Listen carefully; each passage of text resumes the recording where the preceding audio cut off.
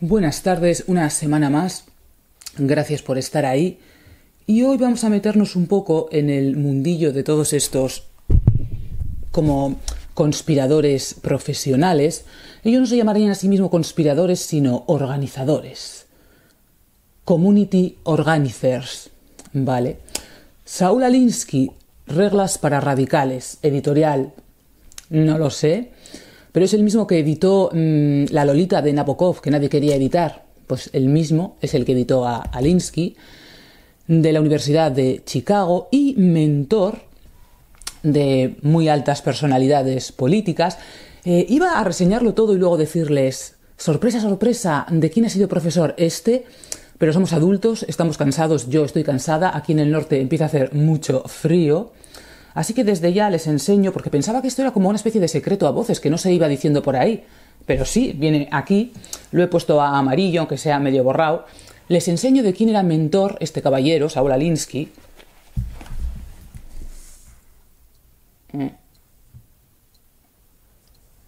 Se ha visto del señor Obama y la señora Hillary Clinton.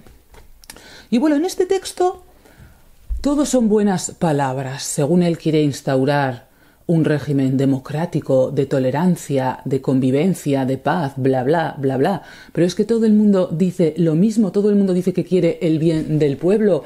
Mm, ¿Han escuchado usted a alguien, ustedes alguna vez a alguien que diga que quiere el mal del pueblo?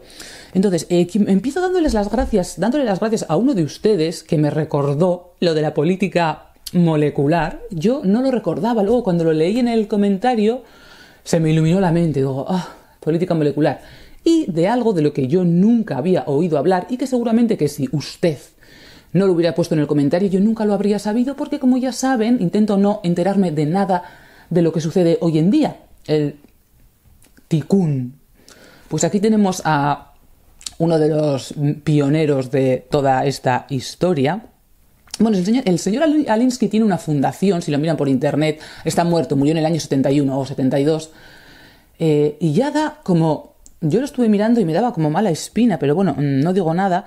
A ver, en este texto, eh, el señor Alinsky, a ver, cita a todo el mundo, cita a Hamilton, a Moisés, a Maritain, a Gandhi, a Sócrates, a Pablo de Tarso, a Lincoln, a Toreau. A todo el mundo es como una especie de diletante cultural que va picando un poco por todas partes. Eh, y lo que mm, estas reglas para radicales son reglas para hacerte con el poder, ni más ni menos. Organizar comunidades que protesten y que se hagan con el poder. Eh, lo que yo creo más bien es que está subvirtiendo las sociedades y habla pues, eh, de cómo, mm, de cómo utilizar a las minorías como una especie de fuerza de ataque contra el statu quo.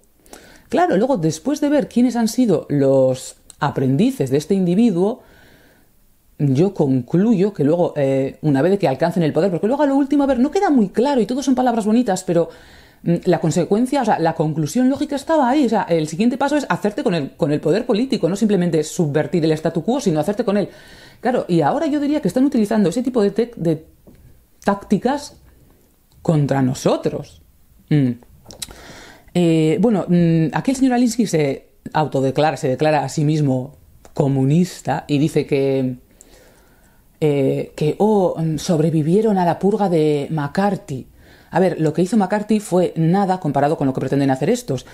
Eh, y ya dice él que este tipo de tácticas solamente funcionan. A ver, no hay nada, no hay nada, o sea, ese tipo de tácticas son, tienes que trabajar con lo que tienes en la vida real y tienes que ser una persona espabilada, que sepa reaccionar, que sepa cambiar, que sepa adaptarse a la situación. no es nada novedoso. para que la gente realmente no sepa eso. Mm, y dice claramente que, eh, que, este tipo de tácticas solamente funcionan en las eh, sociedades o con superestructuras políticas democráticas y tolerantes y abiertas en las que se permita protestar. Dice claramente, esto no duraría ni un segundo en la Unión Soviética ni en China. Y de Gandhi lo dice. Dice, eh, Gandhi que demonizaba al imperio británico, de acuerdo, pero es que eh, sus protestas no hubieran durado ni un segundo contra la Alemania hitleriana. A ver, ¿qué tipo de, mm, protestas hace este individuo? Bueno, pues, a ver, no me acuerdo cuáles, cuáles llevó a cabo y cuáles no, pero eran en plan, eh, que un montón de gente se meta a un banco el mismo día y empiece, de manera legal, o sea, todo, todo lo que dice aquí es legal, empiecen a meter y a sacar dinero y se colapsa el banco. Pues que lo hagan por varios bancos. Eh, tirarse pedos un día de concierto de la Sinfónica de Rochester, Nueva York. Ir a los vecindarios de los blancos. Es que yo no entiendo mucho eso de los blancos y los negros. Que al parecer eh, que, los, que las personas negras coman melones. Me siento estúpida diciendo esto. Es como una especie de estereotipo racial, dice este individuo. Y que fueran eh, muchas, muchos negros a los barrios de los blancos comiendo melones. Eh, abarrotar los baños del aeropuerto de Chicago, que para que lo sepan es el aeropuerto O'Hare, y al parecer así se colapse el aeropuerto. Aprovechar un día 14 de julio en el que casualmente mm, han organizado algún tipo de manifestación y un periodista les dice, esto pasó de verdad. Hoy es 14 de julio, están ustedes reivindicando esta fecha. Y no lo estaban haciendo así, había sido casualidad, pero lo aprovechan. Dice, sí, 14 de julio la Bastilla, no sé qué. Vale. Pues eso, este tipo de tácticas solo funcionan en sociedades que son eh, muy poco rígidas, mm, que, se rigen no tanto por una ley positiva, sino simplemente por las normas de la cordialidad. Eh, este individuo es nacido en 1909, o sea, imagínense, lo que está subvirtiendo son los Estados Unidos de los años 50. O sea, sociedad más amable que esa. Y al final mm, terminan integrándose en lo que critican, la famosa Corporate América, la América de las corporaciones. Pero no se preocupen porque mm, no quiere enjaular a humanos. Antes de ponernos en una jaula, nos va a convertir en ratas. Bueno, pues eh, niega el concepto de causalidad, pero todo esto como muy... Eh, de forma muy somera. El, libro no es intelectualmente importante. Utiliza técnicas de... y tiene el tono de una especie de, de vendedor a domicilio. Cuando... Cuando ves en las películas de los años 50 que, de los años 50 que va uno a, venderte una aspiradora a casa, pues así. Y es un texto, yo diría que entre cínico pero realista. Luego dice que respeta mucho a las a los trabajadores y a todo el mundo en general. A ver, vamos a mirarlo un poco y luego vamos a, comprobar lo que dicen otros autores acerca de todo esto. A ver. Eh, pocos comprenden que hay que ir más allá de la dialéctica materialista de un marxismo ortodoxo, porque ya dice que lo que quiere crear no va a ser algo parecido al marxismo soviético o lo que sea que haya en China, es algo diferente. A ver qué más dice. Mm, las revoluciones del pasado, las que han instaurado las superestructuras en Rusia y en China, se han convertido en la misma vieja cosa con un nombre diferente. Ya lo dice, que eso ya está pasado, que eso ya no sirve y que están creando algo nuevo. Eh, ¿De qué sirve eh, citar citas de Mao, Castro y Che Guevara que son tan ajenos a nuestra sociedad tecnológica y cibernética de los medios de masa como un coche de caballos podría ser a un jet del aeropuerto Kennedy? Vale, pues eso, a ver. Dice, aquí, en los Estados Unidos, I can attack my government. Try to organize to change, to change it. That's more than I can do in Moscú, Pekín or Habana.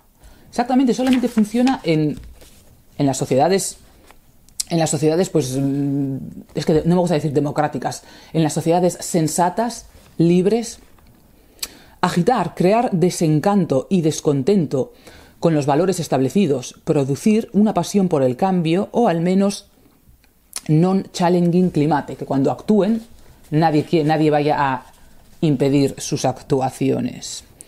Y aquí es donde empieza con todas esas palabras bonitas. Eh, una palabra final sobre nuestro sistema. El ideal democrático surge de las ideas de la libertad, igualdad, de las, de las, del majority rule, del gobierno de las mayorías, a través de elecciones libres, proteger los derechos de las minorías, la libertad de tener eh, múltiples lealtades en, en, materia de religión, económica y no sé qué, el espíritu de la democracia es la idea de la importancia de la vida individual, bla, bla, bla, bla, bla, todas esas palabras bonitas a las que ya estamos acostumbrados. A ver, mm, En este libro nos concierne cómo crear organizaciones de masa to seize power, para hacerse con el poder, and give it to the people, y dárselo a la gente. Mm, ya verán cuál va a ser la conclusión final de todo esto, pero nada parecido. Para, mm, para llevar a cabo el sueño democrático de igualdad, justicia, paz, eh, educación para todos, no sé qué, no sé qué, o sea, las típicas patochadas que llevamos escuchando toda la vida. Dice, detesto los dogmas. Mm, el dogma es el enemigo de la libertad humana. Ya, pero es que su creencia, ¿acaso no es también un dogma? Pregunto, ¿eh? Mm. Los que creen en los dogmas son peligrosos. Bueno, bueno. Mi meta aquí es sugerir cómo organizarse para el poder. How to get it and how to use it. Cómo conseguirlo y cómo usarlo. Y todo el rato está hablando los organizers, los organizers, los organizadores, los organizadores. Y todo el rato Free Society, Open Society, Open Society. Open Sociedad Abierta, Karl Popper. A mí todo esto más que marxismo cultural siempre me ha olido a Karl Popper, pero ahora no me pregunten por qué. Aquí en la línea azul es cuando niega el principio de causalidad. No sé si lo estoy... Bueno, que tampoco es muy importante. Y sí, denuncia la guerra de Vietnam y tal y cual. Mm. Bueno, hay tres grupos en la sociedad, los haves, los haves not y los want more, los que tienen, los que no tienen los que tienen un poco y quieren más. Los que tienen, los de arriba, han eh, desarrollado su propia moralidad para justificar eh, su situación de privilegio y para mantener el statu quo, no sé qué y no sé cuál. Mm.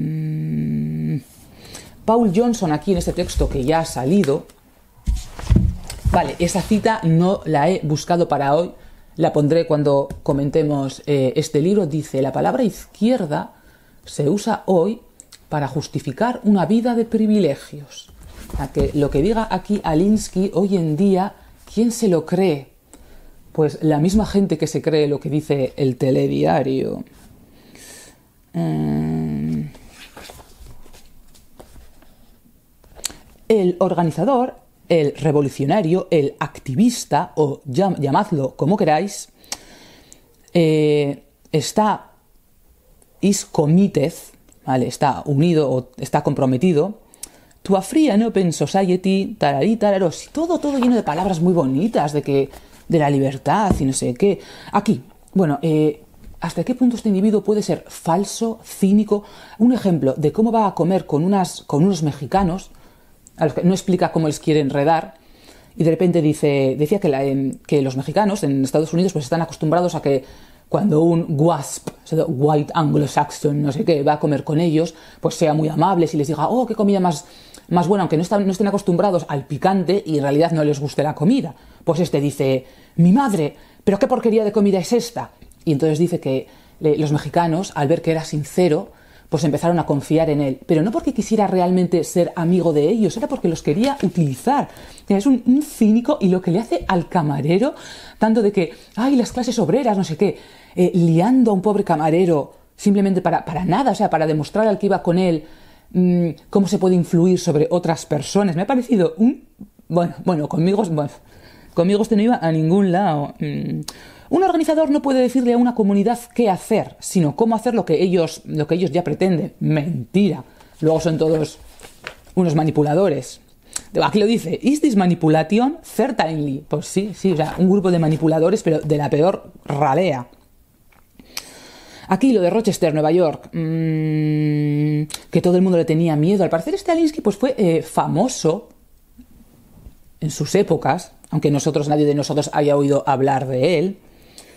Y aquí te dice algunos, eh, algunas personas decían que yo pretendía eh, quebrar el fellowship que había, en, que empezaba ya a haber eh, entre los, negros y los blancos, que ya empezaban a, de forma natural a entenderse y a arreglarse. Y este tío viene a revolver la mierda.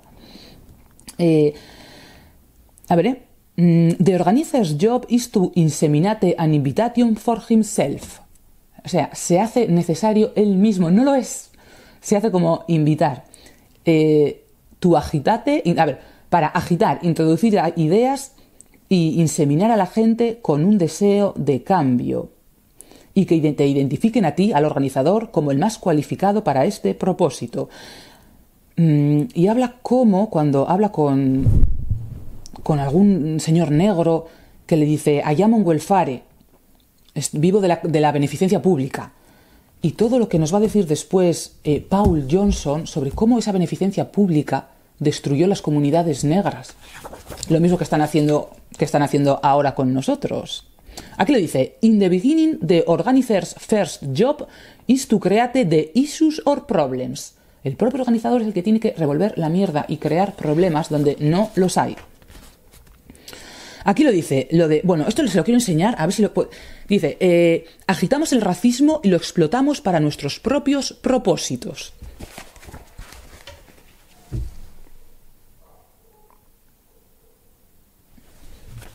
Que, bueno, no sé si lo han visto, pero un sinvergüenza y un cínico. Bueno, estuvo varias veces en la cárcel y dice que eh, los líderes de los organizadores es bueno que vayan a la cárcel porque así se crean como una especie de aura de martirio. Aquí nos está hablando, a ver, eh, que Estados Unidos estaba ya en llamas mucho antes del mayo del 68 francés. Te dice, mm, en el 63 en Birmingham, en el 64 en Chicago, las protestas y las manifestaciones. Aquí lo de la cárcel, que es bueno que los líderes estos vayan a la cárcel para, para hacerse los mártires. Ay, aquí página 157. Mm, qué buena la vida del la vida del marino, la vida del activista, aquí en un hotel de lujo en Aspen. A ver, no sé si el Aspen Institute está en Aspen, pero aquí el tío está a cuerpo de rey dando conferencias y, o sea, yo de mayor quiero ser activista y luego te ponen un ayuntamiento o un ministerio. Dice, eh, el sistema educativo que, que funcionaba hasta ese momento, a ver, me pongo un poco de pie eh, entrena a la gente enfatizando el orden, la lógica, el pensamiento racional, el propósito. Lo llamamos disciplina mental. Y termina en una estructura mental estructurada, cerrada, rígida y estática. Ya, pero es eso, termina mm, en una estructura mental capaz de razonar con lógica. Y esto es con lo que quieren acabar estos individuos.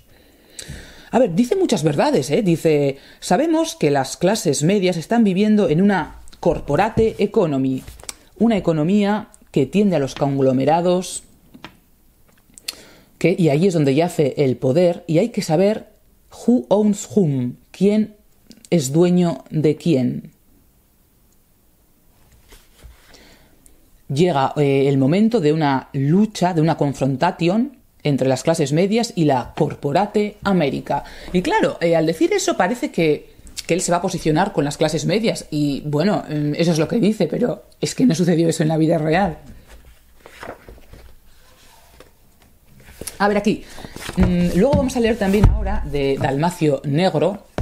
Miren lo que dice. Dice, ya sabemos que fundaciones tales como Ford, Rockefeller, Carnegie y otras de todos esos grandes empresarios were ostensibly committed to social progress.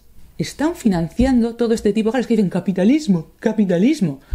Es mentira, todas esas grandes fortunas se utilizan para, bueno, verdad, se utilizan para financiar este tipo de mentalidad subversiva. Vale, luego sigo con el texto este. A ver, eh, ya que ha salido lo de... Vamos a leer a Dalmacio Negro, este texto lo comentaremos en algún momento del futuro. New Left, la nueva izquierda norteamericana, que en los años 70 del siglo pasado su laboratorio principal, eh, con muchas sucursales en otros pagos, son las universidades de Estados Unidos, dominadas por el especialismo y el progresismo ideológico, que amparadas por el Socialism Corporate. Porque esa de la Corporate América ha resultado no, bueno, que llaman capitalismo, pero ha resultado no tanto como lo que nos enseñan a nosotros, que es el capitalismo como el enemigo del comunismo. No, no. Es que han resultado como una misma cosa, se han fusionado en otra cosa. Amparadas por el Socialism Corporate de grandes capitalistas, difunden ideas colectivistas. Ya lo hemos visto, y eso está pasando desde hace muchos años. A ver qué dice aquí el señor Paul Johnson. Haré lo más mm, corto posible el vídeo.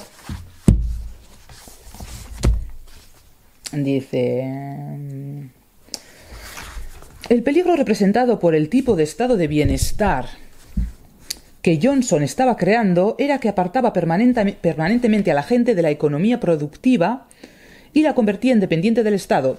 La pobreza aumentó cuando las familias se dividieron, está de las comunidades negras de Estados Unidos, se dividieron sea porque los ancianos vivían separados de los restantes miembros de la familia o como resultado del divorcio, con las consiguientes divisiones de ingreso.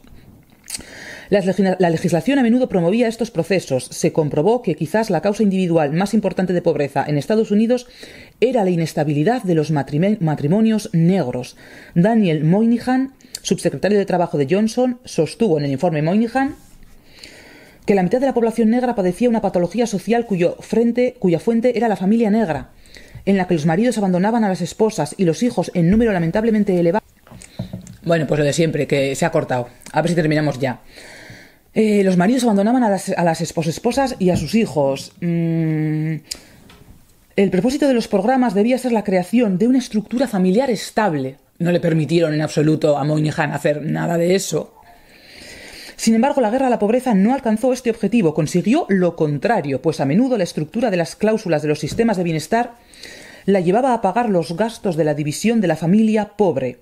Cuando Johnson se preparaba para dejar el gobierno, Moynihan ya estaba argumentando que todo el programa contra la, la pobreza había sido mal concebido y mal orientado. O bien, dependiendo cuál sea la finalidad real de todo esto. Recuerden las palabras de Johnson, y si no me creen, búsquenlo en Internet, cuando dijo, haré que los negros voten demócrata para los próximos 100 años. ¿Cuál es el objetivo real de todo esto de la, beneficencia? Cuando en este texto el propio Paul Johnson nos dice que en las comunidades negras estaban empezando a salir adelante gracias a su talento, gracias a su, a su esfuerzo, gracias a su trabajo, exactamente igual que todos los demás. Tiraban para adelante. Y esa especie de, bueno, esas clases medias negras que ya se estaban articulando fueron destruidas por estos sinvergüenzas.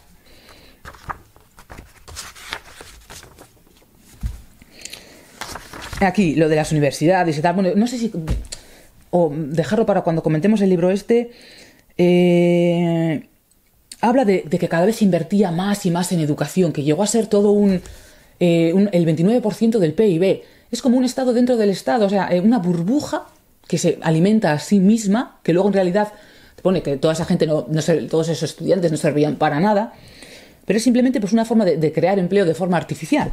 Dice, sucedió lo contrario en el nivel preuniversitario, mientras la elevación se duplicaba y luego se triplicaba, el rendimiento educativo descendía. Se demostró que durante los años del 63 al 77 se había manifestado una disminución de 49 puntos en las cualidades verbales y de 32 puntos en las matemáticas. A mediados de los años 70, una serie de sombríos informes sugirió que el aporte de una educación mayor y más costosa no resolvía ningún problema social. Al principio se dio la bienvenida al activismo estudiantil por entender que eran signos de madurez y conciencia. El primer signo de violencia en gran escala sobrevino durante el verano de la libertad en el 64 en Berkeley. Eh, todo esto de las, rebeliones de los estudiantes. El gobernador de California había llamado a la policía antidisturbios y Berkeley se convirtió en un claustro, en el primer claustro político del mundo. El programa de la gran sociedad de Johnson simplemente derramó nafta sobre esta conflagración cada vez más grave. Se les fue de las manos, como pasa siempre. Em, bueno, pues mm, todo el follón que tenían aquí organizado en las universidades. Dice un tal, dice el profesor Archibald Cox, la generación actual de jóvenes de las universidades está constituida por los individuos mejor informados, más inteligentes y más idealistas que este país ha conocido nunca. Pero luego Lionel Trilling, mucho más conocido, dice... Sí, sí, eh, celebran ustedes como saber inteligencia una serie de, de actitudes políticas avanzadas que no tienen nada que ver con el saber ni la experiencia. Y, en fin, eso. Aquí, eh, más manifestaciones en el 62 en Birmingham, Alabama. Los primeros disturbios importantes y desagradables estallaron en Harlem y Brooklyn en el 64. Eh, aquí, en Rochester, Nueva York, lo de la Sinfónica, etc. Eh, mucho después de que ya se había ganado la batalla esencial por los derechos civiles, erosionaron la esfera legítima no solo del Congreso, sino de la Presidencia, y no solo en la esfera de los derechos, sino en la dirección de la economía. Por consiguiente, durante los años 70 se presenció el nacimiento tanto de la prensa imperial como del Poder Judicial imperial. La intención de los tribunales se orientó en especial contra los empresarios, sobre todo cuando el Poder Judicial, mediante una extensión del concepto de los derechos civiles, adoptó el principio de acción afirmativa. Esto se empieza a escuchar ahora, pero lleva más de 30 años gestándose es decir, la discriminación a favor de los grupos menos privilegiados, y comenzó el proceso de imposición de cuotas. Mujeres, tararí, tararó. Todo de forma artificial. Bueno, y una vez que eh, han desactivado a las minorías, ¿quiénes somos los siguientes? Pues las clases medias, que es el último capítulo de este texto en el que eh, se ve cómo van a subvertir a las clases medias. Dicen... A ver, los jóvenes radicales, o sea, sus sus, tontos útiles, son producto de las clases medias, se rebelan contra, contra su propio grupo social. Eh, pero eso es bueno porque ellos tienen una experiencia de lo, que es, pertenecer a, lo que es pertenecer a las clases medias que se puede utilizar en contra de ellos. Dice, eh, las clases medias eh, hay que atraérselas, es decir, subvertirlas, porque no van a desaparecer así como así, pero, pero parece que queda como la cosa de, si pudiéramos hacer que desaparecieran, pues mejor. A ver, eh, te dice que la clase media está dividida en tres. La clase media baja, que es esa a la que hay que neutralizar, porque esa es la que trabaja y es esa la que carga con la mayoría del peso de todo, del, orden social y también del orden económico. La clase media media y la clase media alta. Estos dos últimos grupos, pues parece están como están en su burbuja de privilegios, pues como que no se enteran. Y dice, eh, esa clase media baja que está harta, y él lo predice, se van a revelar porque eh, cae sobre ellos mm, todas las responsabilidades económicas y a cambio no obtienen nada. Dice, están viendo cómo los que viven de la beneficencia social tienen becas para ir a las universidades, becas para los colegios, becas para los comedores, becas para todo, y pagado con su dinero, con el dinero de las clases medias bajas, y ellos no tienen nada. hay que tener cuidado con esta clase social porque es esta la que se puede revelar y por lo tanto es esta clase social a la que hay que neutralizar. Dice, las clases medias bajas miran a los, eh, a los desempleados que, que, cuentan con ayuda pública como una clase parasitaria que recibe eh, programas públicos masivos, todos pagados por su propio, por ellos, por las clases medias bajas. Lo consideran insultante. Bueno, y sigue, eh, pone un montón de ejemplos de, de cómo funcionan las cosas, pues más o menos igual que aquí. Dice, hay que tratarlos con respeto y simpatía porque they will not shrivel and disappear. You can't switch channels and get rid of them. No puedes simplemente deshacerte de ellos. Entonces hay que atraerlos a su causa. A ver, y lo último. ¿Cuál es el objetivo final de todo esto? De que si la democracia y tal y cual. A ver, cuando terminen este vídeo pongan en, Google. Eh, Saúl Alinsky, ocho pasos para controlar una nación y crear un Estado socialista. Eight steps to topple a nation and create a socialist state. Y este es el verdadero objetivo de todo esto, no todas estas payasadas y todas estas eh, palabras bonitas de no sé qué, no sé qué. Miren qué gente es esta. A ver, eh, hoy es sábado, creo que 12 de diciembre, no sé lo que está pasando en Estados Unidos, pero terror me causa pensar que eh, pues ese anciano pobre me da pena, senil, pueda alcanzar la presidencia, porque no por él, pero ¿quiénes están detrás de, de toda esta gente? Bueno, pues lo que dice, ocho pasos para controlar una nación y crear un Estado socialista. Uno, controlar el sistema de salud. Control de healthcare and you control the people. No creo que haga falta traducirlo. Pobreza. Increase poverty. Aumenta la pobreza. Eh, aumenta el nivel de pobreza tan alto como sea posible. Porque la gente pobre es más fácil de controlar. Y no luchará si les das todo lo que necesitan para sobrevivir. Tres, Este me llegó al alma. Deuda. Keep them chained to the debt. Mantenedlos encadenados a la deuda. Incrementar la deuda hasta un nivel unsustainable, insostenible, para crear gente pobre. 4. Gun control, control de armas. Quitadles la posibilidad de defenderse a ellos mismos. Remove the ability to defend themselves. From the government, del gobierno. Eh, that way you are able to create a police state. Y así podrás crear un estado policial. 5. Welfare beneficencia social pública. Take control of every aspect of their lives. Toma el control de todos los aspectos de su vida. 6. Educación.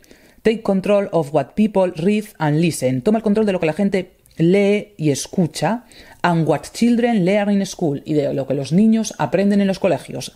7. Religion. Remove the belief in God. Elimina la creencia en Dios. 8. Class warfare.